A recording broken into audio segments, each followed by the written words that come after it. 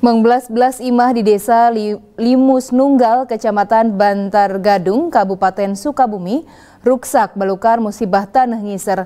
Eta musibah alam menukaran dapante ngancem mang puluh-puluh imah sejena. Warga diperdih lewih iatna, lantaran kiwari ges mimiti nincak usum ngiji.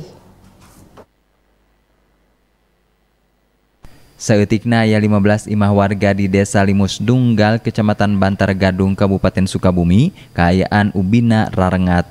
Lian tikitu lima imah sejena kapaksa kudu dikosongkeun lantaran rengatna kawilang parna. Warga numatu dina lamping atau tegalan diperdi iatna lantaran musibah taneuh ngiser tepi kaki wari masih rea karandapan.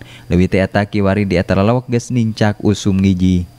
Warga miharap pihak anu boga wenang bisa sagancang nanarekahan pikeun nyinglar hal anu teu dipiharap. Ketua RT di eta tempat Ahmad nembrakeun tapi kakiwari kakara pihak kecamatan anu nitenan lokasi. Warga miharap BPBD Kabupaten Sukabumi sagancang nangadeg-deg ka eta lalawak pikeun nitenan kayan imah anu ruksak balukar taneuh ngiser. Tolong diturunin atau apa uh, alat yang tim bisa tim, tim, tim mendeteksi apa eh, pergerakan tanah ini supaya masyarakat ini kan punya apa eh, ketenangan lah gitu.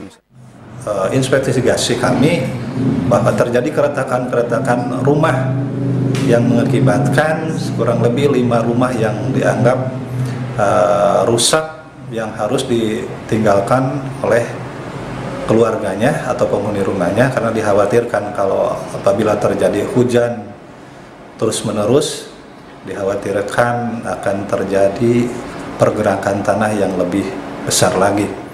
Musibah tanah nyeser di eta desa teh di erong balukar halodo panjang anu karandapan di eta lalawak. Sanajan kitu pikeun nyindekeun eta kaayaan teh kudu ngalakonan panalung tikan leuwih gemet. Kiwari warga diperdih leuwih iatna lantaran taneuh ngiser masih bisa karandapan. Budi Setiawan, Bandung TV.